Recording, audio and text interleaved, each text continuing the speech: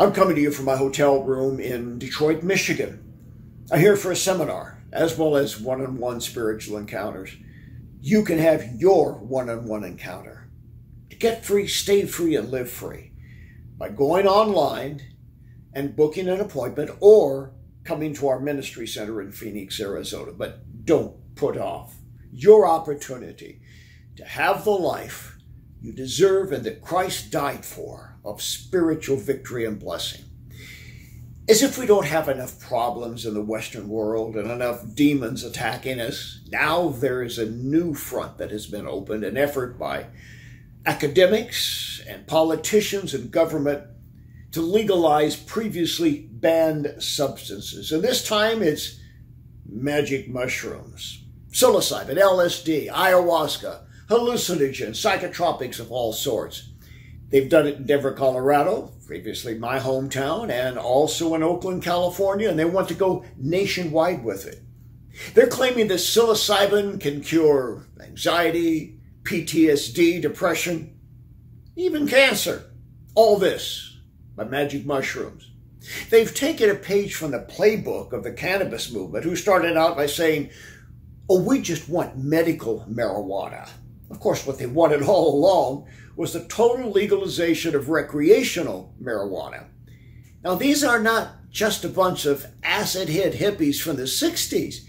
They're very serious about this. And yet, I want to tell you that from my experience in four decades of counseling and deliverance ministry, taking psychedelics is one of the fastest way to become demon possessed.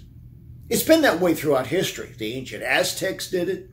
The ancient Hindus did it. It has been with many pagan religions a way to open up a human being to demonic forces. And now they're wanting to do it legally.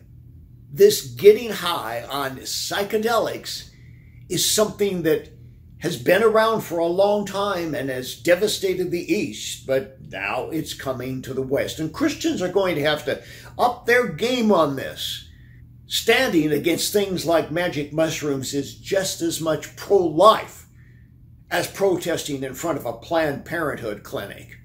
I want to read to you part of a three page article in the International Journal called The Economist that did a three page article on the legalization of psychedelics, quoting a major research firm and the researcher in charge of investigating psychedelics. Listen to these words. It may be that what you get from psychedelics is a crash course in the effects that you could get from a long held meditation practice the self control and cognitive benefits from meditation couldn't come from a crash course. But in terms of the enhanced sense of self, this may be a helicopter ride to the top of the mountain while those on the meditation path are hiking up. In other words, psychedelics are now being viewed, as many serious researchers look at it, as a way of spiritual enlightenment, of getting in touch with the inner God self. Now, folks, this is warmed over witchcraft and occultism. And we've got to take a stand against it. This idea that you can fast track spirituality with psychedelics to find the God inside you is the lie from Eden putting into new context of the legalization of psychedelics. Yes, you might get a fast track to believing that you're a God by dropping acid or using psilocybin. But I want to warn you, you're also going to get an unwanted truckload of demon spirits.